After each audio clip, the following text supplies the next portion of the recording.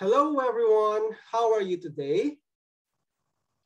Have you ever wondered how satellite images are used for various Earth observation applications? By the way, I am Ryan, your friendly KAISTian, and a PhD student at the Geoenergy Laboratory of KAIST.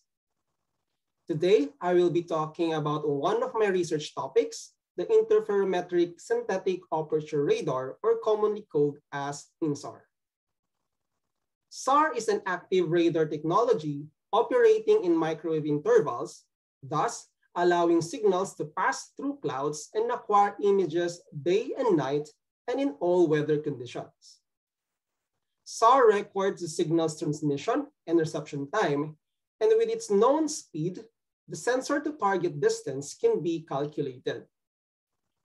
This distance represents the phase information contained in a SAR image and together with the amplitude information, or simply the strength of the backscattered signal, the INSAR technique can be performed. INSAR is simply the interference between two SAR images acquired over the same location at different times.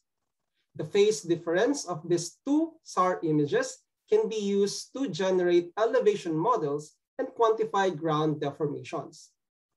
Hence, INSAR can be used or applied in various geohazard observation and monitoring purposes, including land subsidence and sea level rise, earthquake, landslide, volcano eruption, and flooding. That's all for today, my dear friends. Thank you, and I will see you soon again.